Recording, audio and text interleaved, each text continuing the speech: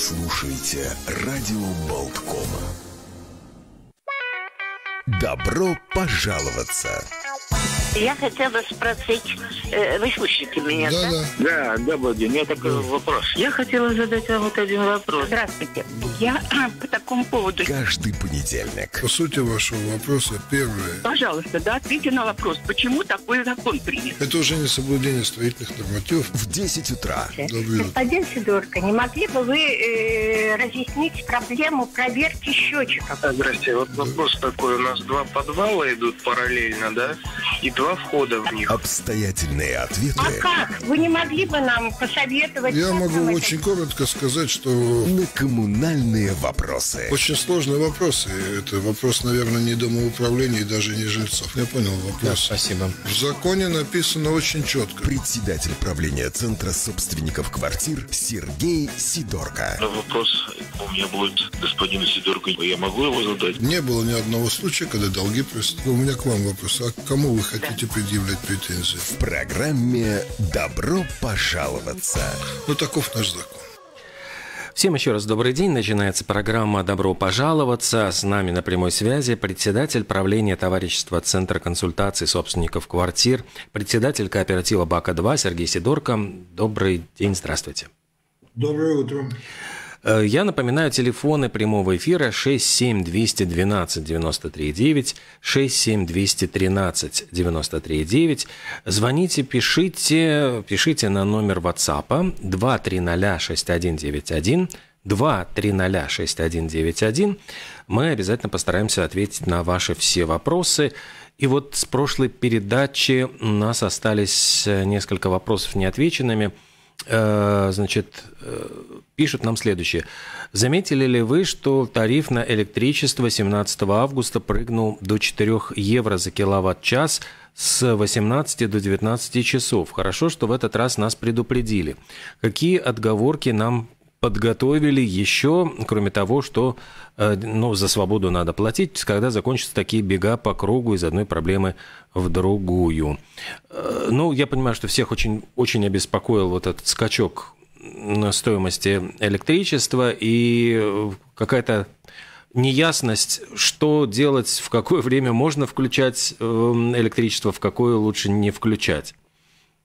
Ну, давайте разберемся сразу. У вас есть контракт с поставщиком, договор с поставщиком электроэнергии. Вы покупаете у кого-то. Посмотрите в, свои, в свой договор, посмотрите в свои там условия, и тогда вы будете знать, сколько вы будете платить. Там, если вы не пользуетесь почасовой биржевой закупкой, то тогда, наверное, это к вам не в такой большой степени относится. Ведь это же касается мгновенной закупки, причем цена это была там с 16 до 17, условно говоря, какой-то день. Сейчас она предельная цена уже европейским регулятором разрешена на бирже до 5000 евро за мегаватт или до 5 евро за киловатт. Но я советую первое, что сделать, это смотреть свои договора и искать наиболее стабильные условия для себя. Тогда вы что-то сможете спрогнозировать. Ясно одно, что электроэнергия, как и тепловая энергия, дешевые не будут, и больше там по 2-3 цента мы уже никогда таких цен не увидим. Далее я бы немножко охладил тех, кто пытается все это связать с э, платой за свободу, потому что то, что происходит сейчас в Европе, это системный энергетический кризис, который начался задолго до какой-либо там этой политической подоплеки. Ну, года два назад начался.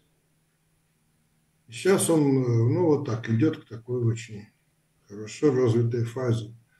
Там намешано все, что угодно. Неверная ценовая политика, неправильная оценка возможностей по источ... об источниках электроэнергии и так далее. Как мы будем выходить из этого и что будет в дальнейшем, очень трудно сказать. Сейчас никто ничего сказать вам не сможет. Мы находимся в стадии тяж... развития тяжелейшего энергетического кризиса. Чем это все закончится, Да, потому что говорят ведь даже и во Франции, где э, атомные электростанции э, работают, они тоже не могут работать на полную мощность из-за того, что из-за большой жары высохли в водохранилища и нечем охлаждать реакторы, и поэтому тоже э, вот можно сказать, пришла беда, откуда не ждали, и вот это и погодные условия, и все, что происходит. Но что вот обычные, обычные люди, в принципе, они, может быть, не хотят вдаваться в какие-то детали. Вот что выгоднее, пользоваться электрочайником или кипятить на газе? А когда лучше, например, стирать белье, если ну, стиральная машина, включать ее на ночь, или это можно делать днем? Есть ли какие-то вот такие нюансы, подводные камни? Если у вас по договору вы имеете переменный тариф день-ночь, я не знаю, кто у нас в Латвии имеет такие домашние хозяйства, такие, такие устройства. Это должен быть специальный счетчик, и у вас должен быть договор, что у вас а, днем и ночью электроэнергия будет по различной цене поставляться. В этом случае вам надо взвешивать, что и когда делать. Самое главное, что я могу сказать на сегодняшний день, внимательно анализируйте свое энергопотребление, как тепловое, так и электричество, и старайтесь использовать ровно столько, сколько вам нужно. Если вам нужно вскипятить стакан воды, не кипятите двухлитровый чай. Ну, очень грубо. Точно так же, если есть у вас какие-то приборы на стендбай, я не знаю, сколько уж они там будут нам стоить, но в принципе вот все энергетические компании рекомендуют не держать приборы на стендбай, а отключать их от розетки, потому что тоже идет энергопотребление. Счетчики на поставщиков все более и более чувствительные, и если механический счетчик не улавливал потребление до 50 ватт, то сейчас, наверное, они улавливают гораздо более меньшее потребление, и поэтому я бы советовал так, оглянитесь, осмотритесь, посмотрите, что вам нужно. Если у вас вы используете приборы с избыточной электрической мощностью, ну тогда примите решение, нужны ли вам такие приборы и как это все вы будете использовать дальше. Тут других вариантов нету, мы должны рационально относиться к столь дорогому продукту. Отказаться мы от него не сможем, пока он будет в доступе, значит, ну, надо потреблять столько, сколько нужно, по возможности рационально. Даже вот казалось бы, богатой, благополучной Великобритании, тем не менее, вот звучат голоса о том, что нужно запасаться на зиму теплыми свитерами, теплыми одеялами и готовиться к тому, что э, ну, вот будет понижена температура, средняя температура в квартирах, эм, и зимой придется, в общем-то, ну, как-то выходить из положения своими силами. То есть это, принципе, такое ждет ли нас, то есть нужно ли к такому готовиться? Нужно готовиться ко всему. Я не знаю, вот э, судя по тому, что сейчас творится, у меня первый вопрос, а сможет ли наша Будет ли наше государство постоянно 24 на 7 в режиме 24 часа в 7 дней неделю обеспечено полностью электроэнергией? Не будет ли установлены приоритеты для групп потребителей не будет ли веерное отключение там, определенных групп? Сегодня предсказать никто не может. Это первое. Второе. Относительно тепла. Не секрет, что у нас больше, подавляющее большинство тепло, тепловой энергии производится на газе. Никто сегодня не может вам сказать, какая будет цена газа и э, хватит ли его на отопительный сезон. Здесь тоже куча вопросов. Поэтому сегодня заниматься гаданием на кофейной гуще, ну, крайне неблагодарное задание, а во-вторых, э, я бы сказал так, до 1 октября вообще говорить не о чем, потому что те политики, которые сейчас что-либо вещают, они вещают, э, исходя из того, что будут перевыборы. А у нас политическая культура такова, что неважно, что ты говорил до выборов, если ты переизберешься в новый состав Сайма, то после этих перевыборов ты можешь сказать, что вся ситуация поменялась, и сейчас мы будем решать все по-другому. У нас нет такого, что ты пообещал на выборах всем э, золото и небо в алмазах, а после этого ты можешь, должен это выполнять. Ты придешь и скажешь, извини, алмазы растаяли, получился дождь. Так что здесь прогнозирование на сегодняшний день вообще абсолютно непонятно. Конечно, сюда еще и политический фактор замешивается, но я думаю, что он в значительно меньшей степени, чем системный кризис вообще. И такое впечатление, что у всех отсутствует понимание, что будет дальше. Я напомню, телефоны прямого эфира 67212 939, 67213 939. На ваши вопросы отвечает председатель правления товарищества Центра консультаций собственников квартир, председатель кооператива БАКа-2 Сергей Сидорко. Еще вот один вопрос, который нам прислали, вот, к сожалению, поздно его заметили, не успели озвучить в прошлой программе. Юрмала Сгатва, 99, авария в 71-й квартире, отключена вода по всему стояку собственник квартиры недоступен, ремонтные работы произвести невозможно, сидим без горячей воды. Что делать в этой ситуации? Вот РНП и Силтум Сервис ничего не делают, ничем не помогают. Ну, я бы сказал так. Во-первых, эм, найти собственника квартиры можно и нужно. Потому что всякого рода ломания и так далее, это все очень тяжелый и осложненный процесс. В принципе, сейчас приняты правовые механизмы, которые позволяют с использованием правоохранительных органов скрывать такие квартиры в том случае, если нарушается, скажем, жизнеобеспечение остальных собственников. Относится ли к этому горячее водоснабжение, я не могу сказать. Холодное водоснабжение – это обязательная услуга, которая должна быть обеспечена – но в принципе есть юридический механизм, который позволяет сегодня, обратившись в судебные органы, быстро получить решение и разрешение на вскрытие этой квартиры по определенной процедуре. Так что все равно надо обращаться к управляющей компании и выяснять. Может быть, там собственник появится через неделю. Там, там надо смотреть, во-первых, насколько не делается, а во-вторых, что механизмы такие есть. Угу. У нас есть звонок. Здравствуйте. Здравствуйте, меня зовут Игорь. Меня интересует такой вопрос. Я живу э, в домах на Лубына 129, корпус 4, которыми управляет Рига Спилса Карбуни. У нас такая ситуация, что почти всех жителей э, данных домов бессрочные договора. И сейчас даже эта новость была по латвийскому телевидению, показывали о том, что э, сейчас будет высылаться письма о том, что договора будут переделываться на двухгодовалые. И в этих письмах людям самим надо написать заявление о том, что мы хотим перейти на двухлетний договор.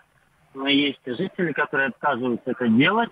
Мы не будем. Вопрос вот именно в этом. Что будет дальше с теми, кто откажется писать сам такое заявление и будет пытаться даже некоторые обращаться в суд? Ну, я бы ответил так. Все-таки более подробно вам надо консультироваться с юристами. Я не являюсь юристом. Общая практика договоров, сам смысл названия документа договор, то есть это то, о чем договорились две стороны. Согласно гражданского закона, никто, ни одна сторона принудить вторую не может. Я полагаю, что вы вправе не соглашаться с изменениями условий договора, с теми, которые вас не устраивают, и это будет законно. Можете дать письмо. Хорошо, быть так, что не принудительно все договора переделают на они, есть механизмы принудительного изменения договоров через судебные инстанции и так далее. То есть так просто взять и сказать, что вас, ваш договор не работает, невозможно. Не связано ли это с тем, что там какие-то объекты, от каких-то объектов Пригоспелсадбовник сегодня избавляется? Это тоже нужно понимать. И у Пилсадбовникса были в основном дома, которые находились ну, в социальной аренде. Как я понимаю, там не было таких Да, домов. у нас э, один дом идет социальный, а три дома муниципальные. Ну, я еще раз могу вам повторить, что в принципе заставить вас без судебного решения поменять условия договора невозможно. Но э, такое решение и при соответствующей аргументации, наверное, получить можно. Там надо смотреть, почему это делается и в связи с чем это ну, насколько я понимаю, не, у нас есть не совсем адекватные жители дома, и просто у нас во всех договорах прописано, что если мы там не платим, конечно, квартплату, нарушаем э, покой, нарушаем режим тишины, допустим, если ночью кто-то шумит, не платим за квартиру, то людей выселяют. Но просто если бессрочный договор, это сделать сложнее. А если двухлетний, то просто через два года он не продлевается. Ну, вот у меня сейчас двухлетний договор. Я могу сказать так, если у вас, я извиняюсь, если у вас в договоре прописаны условия расторжения, то вся проблема в том, что хочет ли управляющая компания фиксировать нарушение. Потому что если вы фиксируете нарушение неоплаты, неадекватного поведения, там, скажем, небережного отношения к имуществу, к, насколько я знаю, там бывали случаи погромов, там, воровства и в этих случаях это надо фиксировать, и тогда никакой проблемы для расторжения договора нет. Неважно, он срочный или бессрочный. Там э, резоны, по которым это делается, мне неизвестны, и поэтому на самом деле я но я еще раз повторю, на мой взгляд, если ну, вы консультируетесь, конечно, с юристом, но на сегодняшний день невозможно взять и так вот односторонне поменять договор только с двух сторон. У вас действующий договор, и основанием для его изменения может быть только соглашение об изменении отдельных. Да, хорошо, понятно. Большое спасибо. Спасибо большое. Uh, да, еще 67212 93 67213 93 телефоны в студии. Пишите нам также на WhatsApp 230 6191. Будем следить, смотреть, э, чтобы не пропустить ваших смс с вопросами. Э, вопрос вот э, связанный с переименованием улиц. Сейчас большое количество, ну, такая волна пошла эм, предложений, требований там самоуправления к переименованию улиц, не вдаваясь во все там какие-то детали, почему, как и что, с чем, кто, ну, какие Какие неудобства, сложности могут возникнуть у простых жителей? Э, кто меняет таблички на э, домах, кто оплачивает это все. И вот если, например, какие-то юридические фирмы, которые были зарегистрированы по этому адресу, нужно ли перерегистрировать? То есть вот что может здесь быть как, связано с какими-то сложностями? Абсолютно все оплачивает собственник здания и помещений. Вот и все. Короткий вопрос. Угу. Издается административный акт, улицу X называть улицей Y. После этого все дается срок, после этого все собственники зданий должны за свой счет изготовить новые таблички. Все собственники, скажем, и руководители юридических лиц произвести перерегистрацию и так далее. Все за счет э, клиента. А если это дом многоквартирный, ну, скажем... Э, ну, это значит, это значит... за счет э, многоквартирного дома. То есть Никто это... ничего... Это все за счет... Все равно многоквартирный или, или э, дом одного хозяина, все равно он имеет собственника, и собственник оплачивает. Так это разница, что там собственник один или их 60. Угу. Оплачивают они. Нет, ну э, это все решение э, о том, как заказываются эти таблички, как это меняется, это делает домоуправление. То есть э, это просто... исполнитель, но да. вы задали вопрос об оплате. Да, Кто да. несет административные издержки? Несет, в том числе, если у управляющей компании в связи с этим появляются дополнительные расходы, и это оплачивает собственник. Угу. Потому что монтаж новых пластинок – это одно дело заказать новый номерной знак, другое дело, что нужно заказать еще компанию, которая может его установить.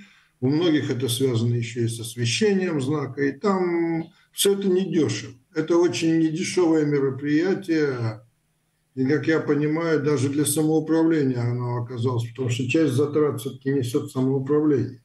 И, э, как я понял из последних сведений, только одну улицу удалось договориться переименовать. Пока что именно из-за затрат, очень высоких.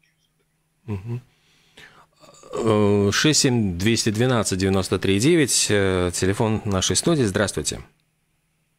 Э, добрый день. Добрый. Алло. Да, вы в эфире, пожалуйста. Да. У меня два коротких вопроса, постараюсь покороче. Э, первое, у нас тут, э, значит, э, в дом, пятиэтажка, и тут было три дня назад собрание. И вот э, хозяин новой фирмы, куда мы перешли, от, слава богу, убежали от Рига с нами паровника. И вот, значит, он вместе со старшей дома вдруг задвигает. Я думал, на собрании будет вопрос о теплосистеме, об изоляции, о запорке и прочее, прочее, приводить в порядок. Вместо этого вдруг нам резко навязывают две вещи. Первое – это э, якобы аварийные балконы и прочее. Есть несколько балконов, у которых видно кусочки где-то снизу арматуры все. Но это уже стоит сто лет так. И второе, а, и предлагают нам резко делать именно сейчас срочный ремонт, ставить леса там и все, и все, иначе будут штрафовать. Запугался. И второе, э, стеклопакеты на подвальные окна. А у нас половины отмостки нет, подвал весь сырой, теплоузел плавает полностью. И вот я хотел бы сказать, узнать первое, насколько умно ставить стеклопакеты вообще, то есть не будет ни вентиляции, ничего. А главное, что при отсутствии фактически отмостки плывет все. И первые этажи, грибок там и прочее, прочее. И полы ходуном ходят, ладно. И второе, э, кто определяет обязательность и прочее, прочее по балконам, э, по их аварийности, и, и так сказать, вот и все. Вот эти два вопроса по балконам и стеклопакетам на э, подвал, тем более плавающий. Все, спасибо. Спасибо. Ну, отвечу немножко более широко на ваш вопрос, он объединенный на самом деле.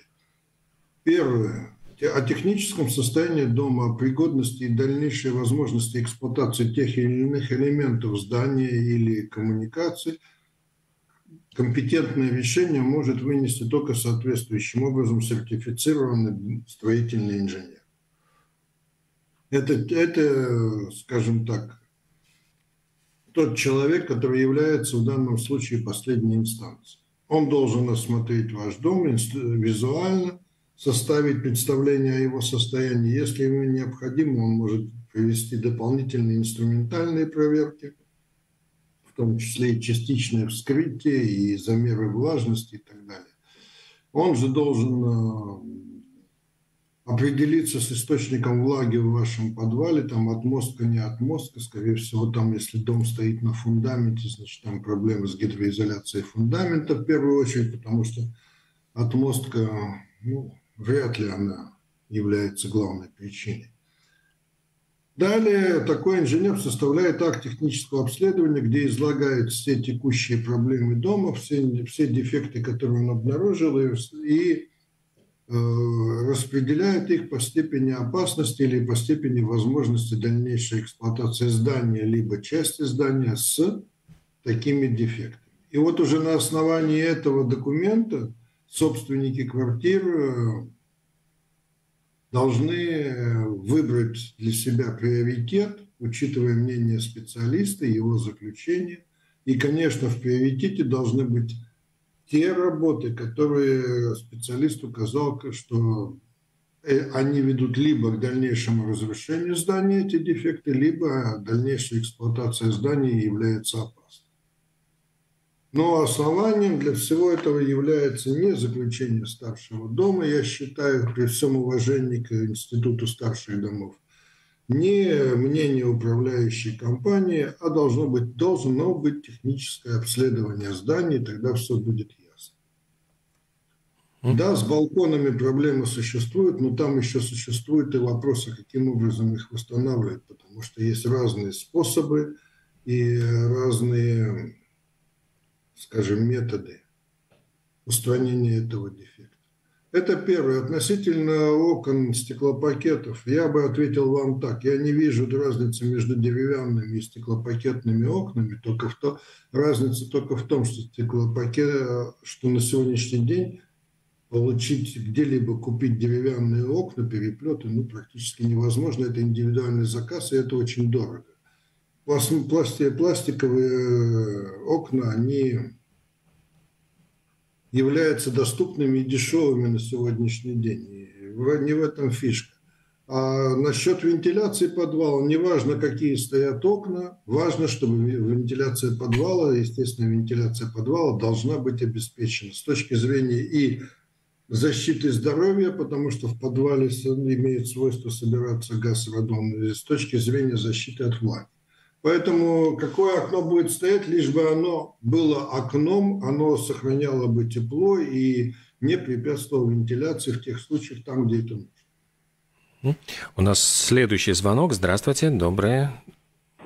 Да, добрый день, Александр меня зовут. Э, слушаю передачу, вот при всем уважении к собеседнику очень часто слышу, не знаю, очень сложно предположить. Но я ему подскажу, что, в принципе, богатые страны европейские э, советуют всем остальным хотя бы уменьшить температуру в квартирах, домах на 2 градуса. То есть это принесет порядка 10% экономии. Я не говорю о том, что, конечно, надо ставить стеклопакеты и все остальное. Это финансовая сторона, не каждая квартира потянет. Но почему нельзя поставить? У нас в Риге громадные площадя крыш, которые пригодны для использования установки солнечных панелей. Но ведь это же реально поставить. Ну, вот эти люди сидят на этих должностях, не знаю, не представляю, а это, а это, причем-то политика. Да, политика есть. Безусловно, посмотрите, автомобили обклеены. Такое ощущение, что они старые плакаты взяли и обклеили. Какие-то 5% ПВН и все остальное. На них смотреть не надо. Надо по местам людям думать. Спасибо. Ну, ну во-первых, я не понял, это вы, по-моему, разные передачи слушали. У нас сегодня разговора о том, что вы сказали, не было. Во-первых, насчет солнечных панелей. Да, крыш много, согласен, но я, допустим, эксплуатирую крыши, которые для того, чтобы на них установить панели, их нужно соответствующим образом подготовить.